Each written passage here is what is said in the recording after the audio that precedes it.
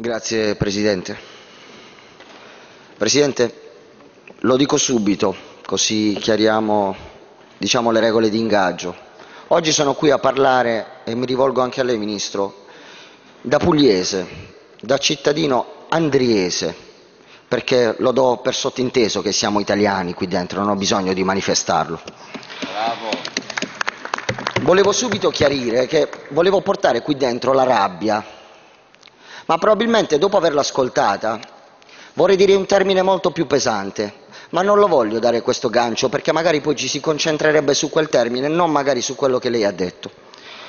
Oggi stiamo parlando qui dentro di una tragedia che probabilmente si potrebbe definire ridicola se non fosse infame per quello che realmente è accaduto.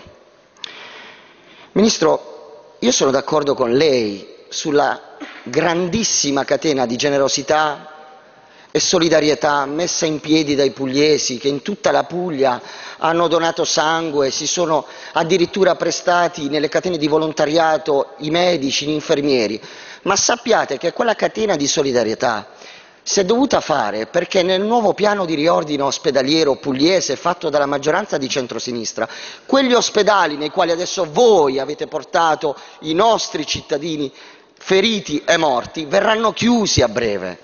Verranno chiusi e non ci saranno nemmeno più presidi ospedalieri nei quali poterli portare. Ma voglio aggiungere anche un'altra cosa, Ministro, perché forse questa è un'altra storia.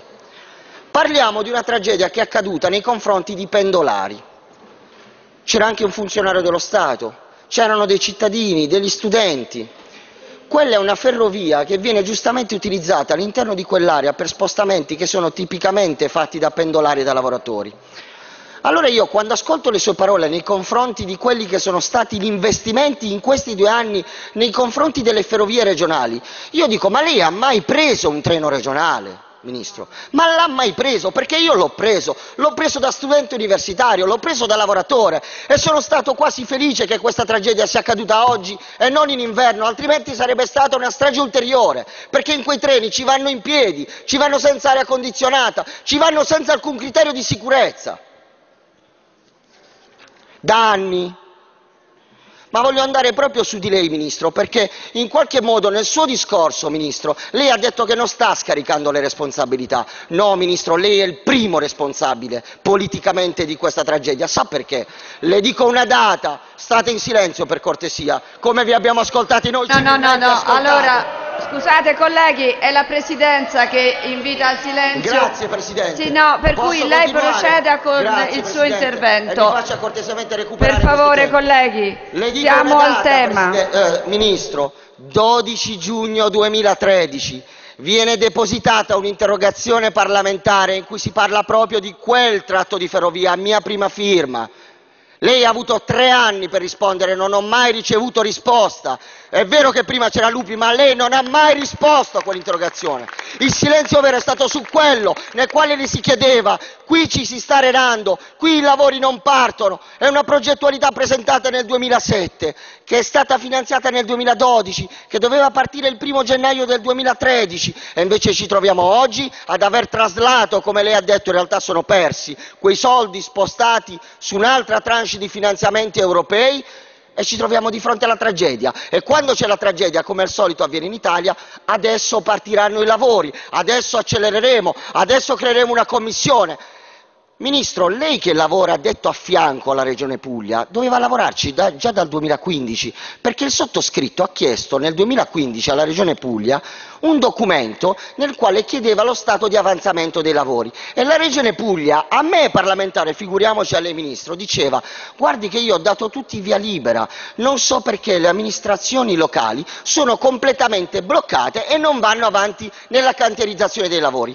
Io mi chiedo, così come ho fatto nell'interrogazione, perché lei adesso è a fianco e non lo era prima a fianco agli enti locali? Sa perché? Perché voi siete a fianco agli enti locali, ai politici, a Emiliano, a chiunque sia, ma non siete a fianco ai cittadini, non siete a fianco ai cittadini. Prendetelo una volta quel treno, capite qual è la vita all'interno dei treni pendolari, ma non solo in Puglia, perché potremmo fare uno scenario devastante della Puglia, ma di tante altre regioni italiane, dove voi invece andate ad investire in progetti faraonici che non servono a nulla, lo dice il rapporto di Lega Ambiente, e abbiamo ferrovie in tutta Italia che fanno vergogna.